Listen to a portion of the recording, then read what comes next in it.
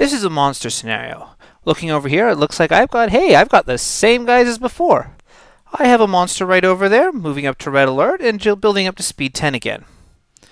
There we go. Put a little bit of extra energy into the phasers.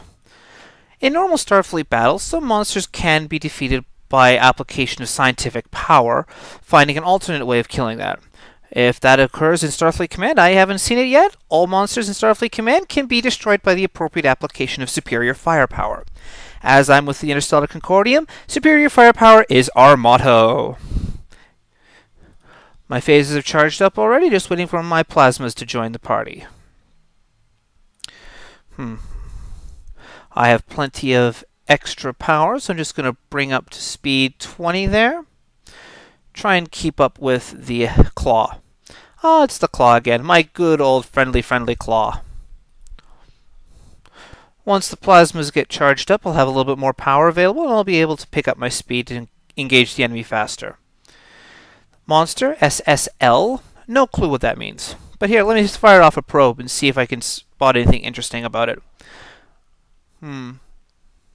Unfortunately, Starfleet Command does not have the proprietary right images for cert for Star Trek monsters, so we won't be actually seeing the Space Amoeba, the Planet Crusher, those sorts of things. Let me go into Seek mode. Aha, more power available. More power means higher speed. Currently moving at speed 25. Once I get back into the fight, I'm going to definitely slow down here. Oh, I'm at speed 26, sorry, versus the monster speed 16. Looking at this guy, he's kind of ugly, but what did you expect? Ooh, the freighter's taking some hits. 26. Normally by putting all the available power into shields, you can tell just how much extra you have available for other purposes. Once I reach range 10, I'm going to slow down and begin to fire off my weapons like that. Let's free up some more power for recharging weapons.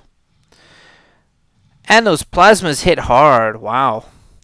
You might think for a moment here that this guy looks something like a Planet Crusher, and, well, he does. Except this guy's flying in reverse of a normal Planet Crusher and has fancy spines, and really, that does look like a mouth, doesn't it?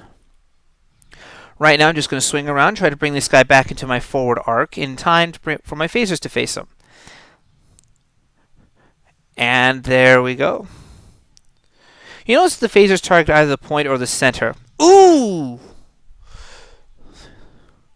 Ouch. Ouch. Ouch. Okay. Looks like I lost one of my phaser ones here. I have some damage to my electronic warfare. I will begin repairs on a phaser one. Oh, the monster took some damage there. Hmm. Oh, he's burning. Good, good, good, good, good, good, good. Currently at medium range from this guy. Yeah, I think I'm going to have to hit a dry dock for some repairs in a few moments, or after this mission is done. Another transporter mine. Hmm, looks like one of my plasmas is a cycle behind on the arming. Off from the right, a plasma torpedo, looks sounds like. There we go. One type F plasma torpedo, moving speed 36, and it evaporates before it hits the target. My forward shield is being repaired slowly but surely. And I don't care what you say, my name's not Shirley.